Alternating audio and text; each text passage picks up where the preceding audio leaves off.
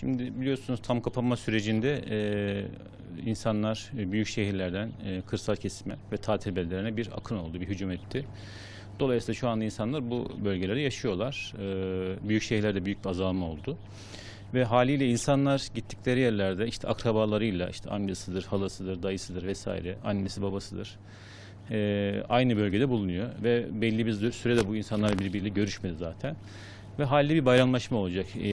E, en azından insanların bayramlaşma olsa bile bunu e, en azından kapı ağzından ya da uzaktan bayramlaşmayla yapmaları daha uygun görünüyor.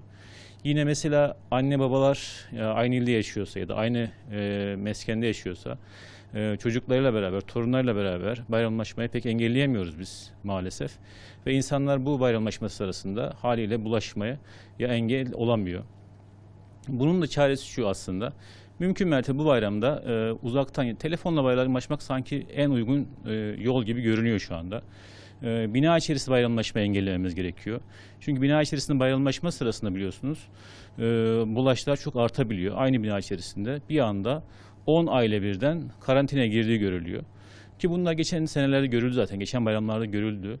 O yüzden mutlaka bunu engellememiz lazım. Yani müstakil evlerde biraz daha kolay. Bahçeden bayramlaşabilirsiniz ama bina içerisinde maalesef daha zor oluyor bunu yapmak. e, Daha sıkıntılı hale gelebiliyor.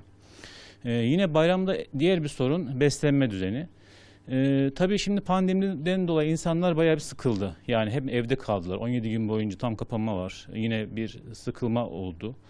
Oruç tutuyor insanlar belli bir kısıtlama içerisinde yaşadılar bu süre içerisinde. Ee, ve sonuçta e, beslenme e, değiş alışkanlıkları değişti. Her zaman şu söylenirdi bayramlarda işte şunu yemeyin bunu yemeyin aman dikkat deyin. Ee, ben şahsen tam tersini söylüyorum aslında burada. Diyorum ki insanlar zaten bu kadar sıkılmışken e, belli oranı kaçırmamak suretiyle her şeyden yesinler. Çünkü diyet depresyona yol açar. Yani siz ömür boyu diyet yapamazsınız. Biz hiçbir zaman zaten diyet ömür boyu önermiyoruz.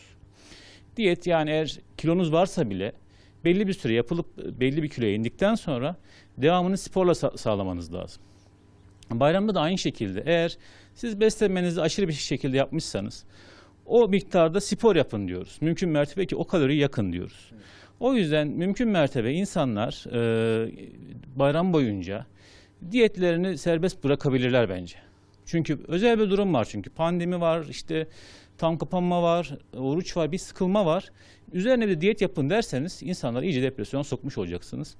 Ee, Bunu da yapmayalım artık. Yani bu bayramda insanlar rahat bir şekilde her şeyi belli bir oranda yesin diyoruz. Ha tabii şunu söylemek lazım. Kişilerin eğer bir kronik bir hastalığı varsa, diyabet gibi, hipertansiyon gibi kronik bir hastalığı varsa o zaman diyetlerine dikkat etmesi lazım. O ayrı bir durum ama sağlıklı insanlarda, normal hastalığı olmayan insanlarda çok kısıtlama gitmeden e, her şeyi yemelerinde bir sakınca görmüyoruz. Belli bir oranda tabii olmak şartıyla. Tam kapanma sonrası e, yani bu muhtemelen haftaya pazartesi görülüyor dönüşler. Ya Eğer yeni bir e, kısıtlama için bir şey açıklanmazsa. E, bu tekrar bu kalabalık e, grup yani köylere gelen insanlar işte tatil beldelerine gelen insanlar geri dönecekler ve haliyle büyük şehirlerde yaşamaya başlayacaklar tekrar ve e, günlük rutinlerini devam ettirecekler görünüyor.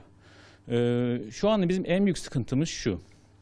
Koronavirüs maalesef e, bir hareket halinde. Yani e, işte büyük şehirden köye geldi, köyden tekrar geri büyük şehre dönecek. Bu hareket e, virüsteki bulaşmayı artırdığı gibi aynı zamanda mutasyonu da artırıyor. Dolayısıyla bu mutasyon da genelde pek olumlu yönde olmuyor ve daha e, virüsün bulaşıcılığı artmış oluyor, ölümcüllüğü artmış oluyor ve bunun sonuçları da olumsuz olarak yansıyor. O yüzden insanların döndükten sonra kendi tam kapamalarını yapması lazım. Yani biz artık şunu öğrenmemiz lazım. Kendi ta- tam kapamamızı nasıl yapabiliriz? Bu da şu aslında mecbur olmadıkça evden çıkmamak lazım. Yani çok mecbursanız evinizden çıkın. Onun haricinde çıkmayın. Yani bu kendi tam kapamamız bu aslında. Kendimiz bunu yapabiliriz. Her şeyi e, başkasından beklemek yerine kendimiz bunu devam ettirebiliriz. Tam kapanmayı bir şekilde yaparız kendimiz. E, sadece belli saatlerde işimiz gereği dışarı çıkarız. İşimiz gereği gidiyorsak da gittiğimiz yerde kurallara uyarız. Nedir bu? Maske, mesafe, temizlik. Biz zaten bunu İngiliz mutantana karşı çift maske, çift mesafe, çift kat temizlik diyorduk. Bunu uygularsak eğer, bunu devam ettirirsek vakalarımız emin olun binlerin altına düşecektir.